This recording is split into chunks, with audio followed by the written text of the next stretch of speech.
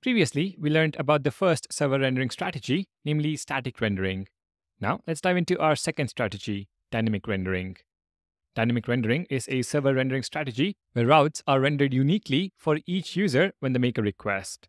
It is useful when you need to show personalized data or information that is only available at request time, things like cookies or URL search parameters. News websites, personalized shopping pages, and social media feeds are some examples where dynamic rendering is beneficial. Now that we understand what is dynamic rendering and when to use it, you might be wondering how do we actually implement it?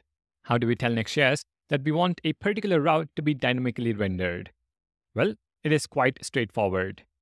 Next.js automatically switches to dynamic rendering for an entire route when it detects what we call a dynamic function or dynamic API. In Next.js, these dynamic functions are cookies, headers, connection, draft mode, search params prop, and after, which is a new API.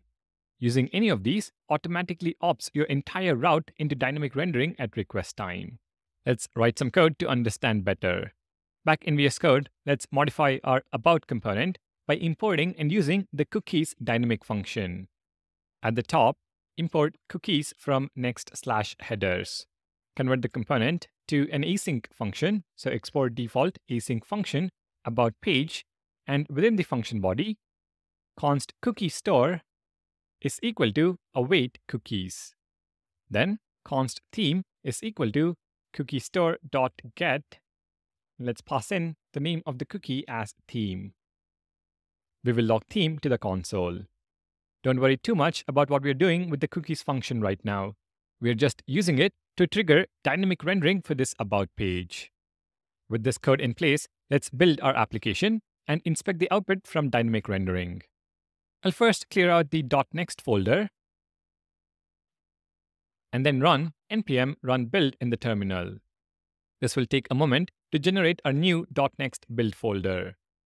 First, let's look at the build output in the terminal. We can see all our generated routes listed. Pay close attention to the about route. It has an F symbol next to it. If you check the legend, you will see that F indicates dynamic rendering, server rendered on demand. The next important point to remember is that dynamically rendered pages aren't generated during build time. If we inspect next, server, app, we will see HTML files for index, dashboard, and not found, but we won't find an HTML file for the about page. Finally, let's start our application with npm run start.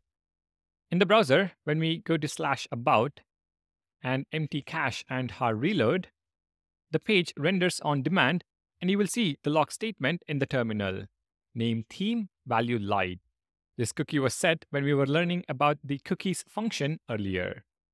Check out the network tab and you will see both the preview and the response containing the HTML.